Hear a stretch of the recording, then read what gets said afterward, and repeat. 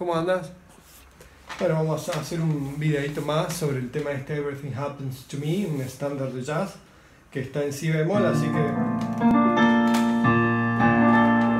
tiene, acordes conocidos, do menor con séptima menor y novena, fa mayor con séptima menor, re menor con séptima menor, do sostenidos disminuido,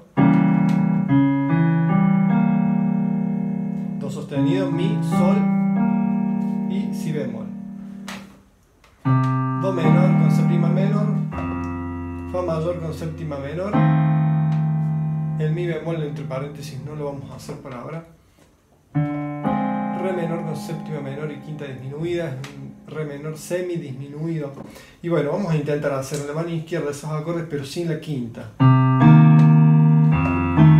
Lo que hacemos es la tónica, la tercera y la séptima. Tónica, séptima y tercera.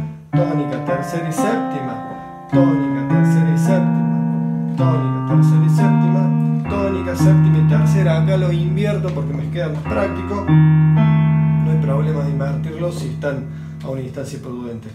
Eh, y tocamos la melodía con la mano derecha.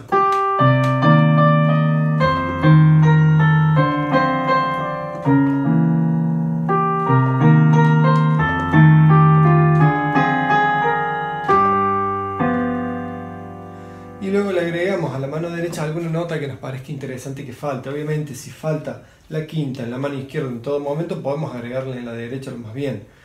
En el primer acorde tenemos ese, esa cuestión.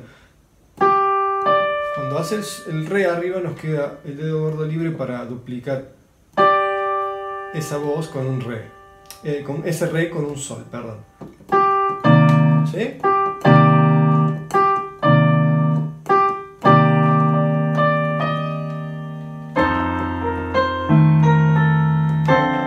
Ahí también duplico en ese re.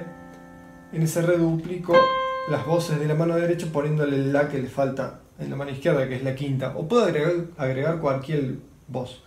Pero eh, hay que intentar en la mano derecha aprovechar esta cuestión de tener la melodía sola para poner alguna otra voz cuando nos quede libre. No siempre quizás, pero algunas veces.